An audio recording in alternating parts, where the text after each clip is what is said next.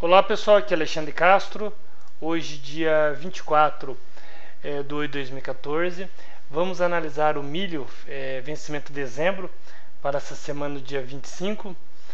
É, gráficos mensal, nós temos aqui um padrão gráfico bem interessante, um Harami. É um padrão aí que pode sinalizar uma reversão, o preço ultrapassando essa máxima das, que nós estamos aí na 371, 371.25, gráfico semanal, nós podemos traçar aqui uma, uma LTB, e o gráfico diário, nós temos então, preço, vamos fazer um ajuste, não conseguimos ter, visualizar, mas aqui nós conseguimos traçar uma LTB secundária, gráfico diário, onde foi rompido. O último dia aí confirmou,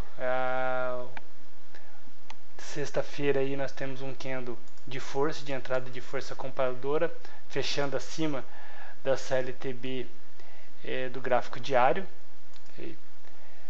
Nós podemos aqui traçar, vamos pegar alguns níveis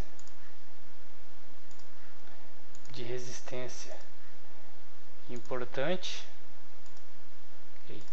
Então em 385 nós vamos ter um, uma resistência importante, vai ser a nossa primeira resistência.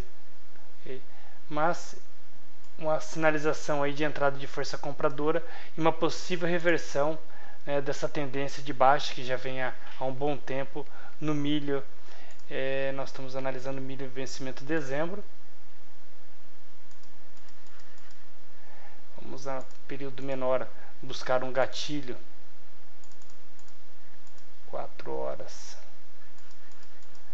4 horas nós já temos aí alguns movimentos. Nós temos um fundo é, arredondado aí. Nós temos essa máxima aqui desse fundo. É uma figura também um padrão aí de impulsão. O rompimento.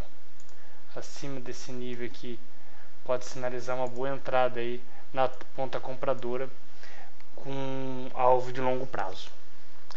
Ok, vamos então analisando aí a movimentação do milho, preço do milho.